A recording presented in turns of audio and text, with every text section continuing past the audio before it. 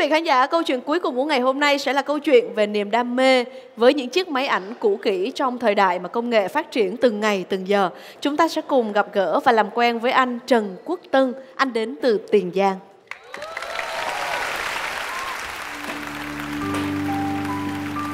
Tôi à, tên Trần Quốc Tân, 53 tuổi. Công việc của tôi hiện tại là làm cái nghề in lụa. Thì in đủ thứ, in à, bao bì, à, nhãn hiệu, làm lịch đồ tùy theo cái mùa vụ. Thì à, gặp Hoàng là trong cái dịp đi à, phát quà từ thiện rồi anh em trong cái nhóm từ thiện có biết được cái hoàn cảnh của gia đình Hoàng khó khăn thì đến chia sẻ và tặng quà cho gia đình của Hoàng Tôi tên là Đặng Lê Châu Hoàng, nay là 42 tuổi, hiện nay sống ở Mỹ Tho, Tiền Giang. Nghề nghiệp thì ờ, mua bán bong bóng gông vậy. À? Bán thì ờ, cũng có vài bữa khác. Nắng thì bán cũng được, còn mưa gió thì thử ra không có bán được. Ra thu, thu nhập thì nó không có ổn định. Rồi trước khi đi bán bóng thì cũng có nghề ờ, chụp hình đám tiệc đám cưới sinh nhật rồi thì đó không có tiền thì cũng mua máy người ta xài rồi á mua về rồi cũng đi chụp thời gian rồi máy nó cũ quá rồi giờ nó chụp được thời gian nó hư. Nhà thì hiện giờ thì à, có hai vợ chồng với hai đứa con với mẹ. Mẹ thì bị tiểu đường, còn em thì bị à, động kinh từ nhỏ.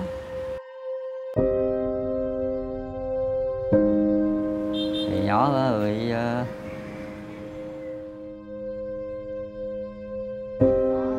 nó bệnh vậy chứ nó cũng ráng đi bán về phụ phụ giúp đỉnh vậy thôi, nhưng mà cũng đỡ.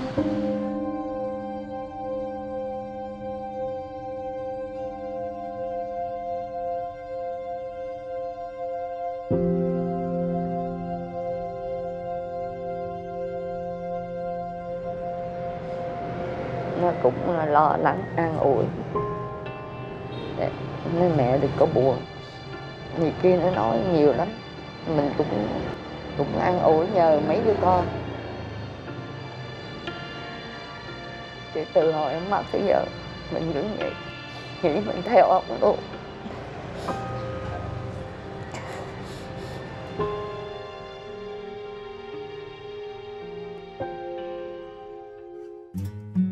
Hoàng cũng có tâm sự với tôi thì nói là muốn ao ước làm sao có cái máy để mà làm máy chụp hình để mà thực hiện lại cái nghề cũ của mình. Thì cái niềm đam mê đó rất là cháy bỏng, khó mà quên được. Mặc dù là 20 năm nay đã bỏ nghề vì cái điều kiện hoàn cảnh không có, phải bỏ nghề. Mình thấy vậy mình cũng đồng cảm với cái sự khắc khoải đó. Tôi sẽ hát để hỗ trợ cho anh Hoàng có một số vốn để mua cái máy chụp hình làm lại cái nghề nhiếp ảnh của mình.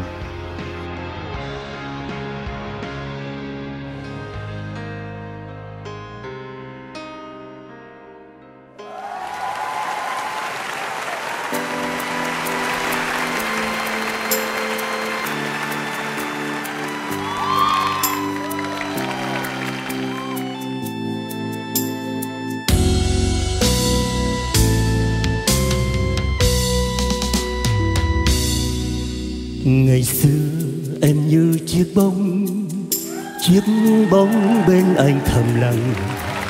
Từ lâu em tan thành tia nắng, gió thốc lên chỉ còn đám bụi mơ từ lâu em như là mây trắng, gió cuốn mây về nơi chốn mình mơ. Mười năm trôi qua trôi qua không xa đi, không xa đi mà như người trở lại.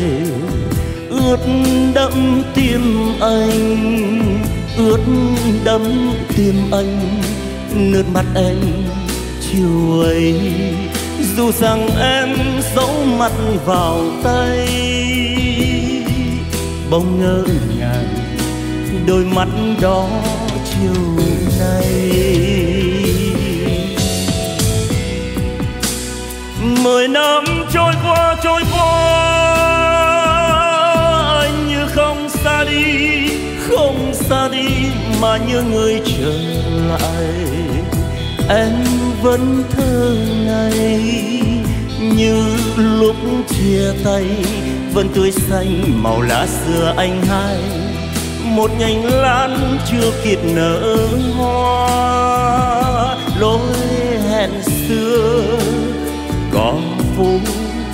nhạt nhòa. Em trở lại hãy thời gian trở lại. Hỡi cô bé thơ ngày ngày ấy, hỡi đôi mắt năm xưa nhìn anh. Hỡi đôi môi với nụ cười lặng lẽ.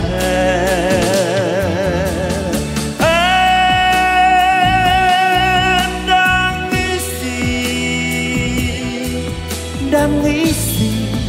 Đang nghĩ gì? Anh vẫn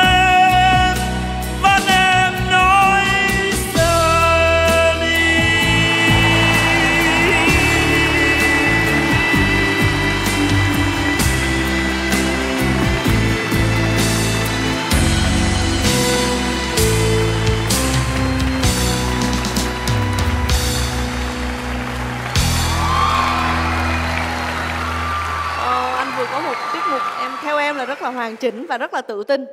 Thì em hy vọng là những lời nhận xét ngay bây giờ của ban giám khảo sẽ kết nối với thần máy để anh có số điểm thật cao trong vòng thi đầu tiên. Cảm ơn dạ xin mời ban giám khảo ạ. Đến với chương trình này thì tụi em không có đòi hỏi quá nhiều. Quan trọng là cái tình cảm mình đặt trong bài hát. Thì anh là một cái người có tình cảm nhiều. Và cái cái tình cảm anh anh thể hiện qua cái giọng hát. Nó nó anh truyền đạt được qua cái lời hát của mình. Mười năm trôi qua trôi qua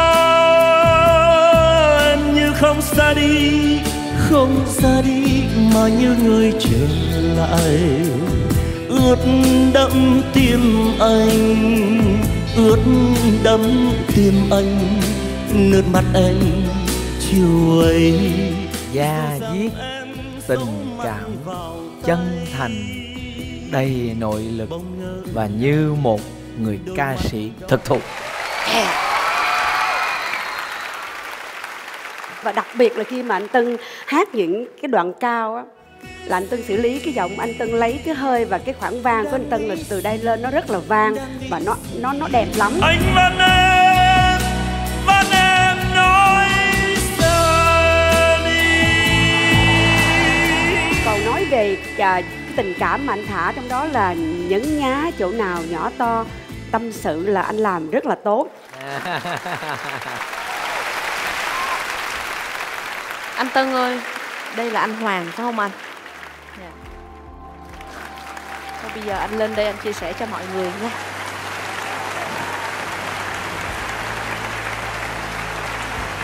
chào trưởng thành chị Cẩm Ly chị Hồng Ngọc Dạ. Anh cần chi phí bao nhiêu để có thể sắm sửa những dụng cụ chuyên nghiệp? thì à, bây giờ muốn mua cái máy mà chụp cho khách mà khách coi được á, thì cái máy nó cũng cỡ ba chục ba mấy triệu. Mà giờ không có khả năng ước mơ được có cái máy vậy để đi làm nghề lại. Em nghĩ rằng là nếu như ngoài cái chuyện đó ra anh cũng có thể suy nghĩ xem là mình có cái năng khiếu gì hoặc là anh dùng cái năng khiếu mà về về góc độ mà anh giỏi về nhiếp ảnh thì anh xin vào những cái tiệm nhiếp ảnh anh làm. Em nghĩ là đôi khi nó cũng có hợp lý hơn. Thay vì mình phải làm một thợ nhiếp ảnh bởi vì hiện nay em nghĩ rằng thợ nhiếp ảnh đã nói dùng từ là thợ nhiếp ảnh thì bây giờ họ phải học hành khủng khiếp lắm để họ chụp được những cái hình trong studio và những cái hình cực kỳ nghệ thuật chứ còn không thôi bây giờ mọi người không có ai chụp hình mà lấy liền như hồi xưa nữa Dạ đúng ai rồi. cũng có điện thoại di động hết rồi Rồi chụp xong phải làm sao xuất file gửi cho khách, phải có laptop. đó là kỹ thuật lấy liền. nó nó rất là tân tiến thành thử ra em em không phải là em em em nói như thế này để anh anh anh dập tắt ước mơ của anh không phải đó là vì em em thương anh. Nên em nói ra để anh suy nghĩ rằng là nếu như ngày hôm nay anh Tân mà mang về cho được một số tiền lớn hãy sử dụng số tiền đó thật là hợp lý để từ đó mình sinh ra nhiều đồng tiền sau này. Chứ không thôi là mình mình mình bỏ vô một cái gì đó nó quá lớn mà nó không mang lại hiệu quả nó phí đi cái đồng tiền của mình. Em nghĩ vậy. Cảm ơn chương trình Anh. Cứ suy nghĩ ha. Và tiếp tục ờ, theo dõi để cổ vũ cho anh Tân.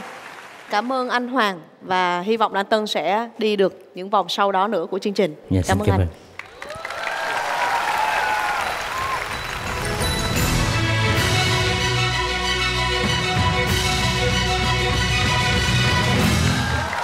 người chơi của chúng ta đã quay trở lại sân khấu rồi. Ngày hôm nay họ mang đến những câu chuyện khác nhau và cũng nhận được sự đồng cảm từ tất cả quý vị khán giả. Bây giờ thì chúng ta sẽ cùng biết được số điểm mà hệ thống máy dành cho bốn người chơi và ai giữ số điểm thấp hơn thì sẽ dừng chân nhận được phần thưởng tương ứng với số điểm của mình ạ. Và xin mời hệ thống máy.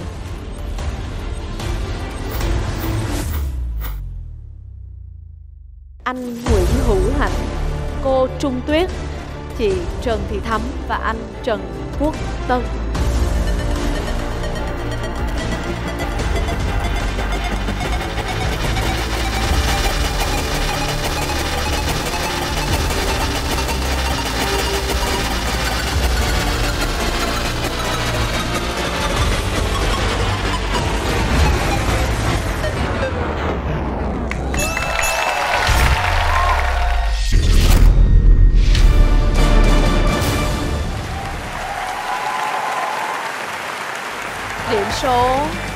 Hơn so với những điểm số còn lại là số điểm 72 của chị Trần Thị Thắm và chị sẽ nhận được phần thưởng trị giá 7 triệu 200 ngàn đồng.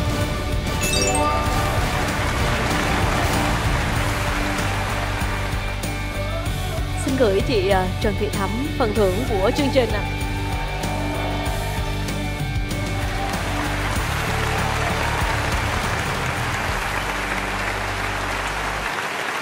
thể là chưa có được như mong đợi của chị vì chưa có đến được với những vòng sau nhưng em mong rằng là số tiền thưởng này cũng hỗ trợ phần nào đó cho cô Huê của chị.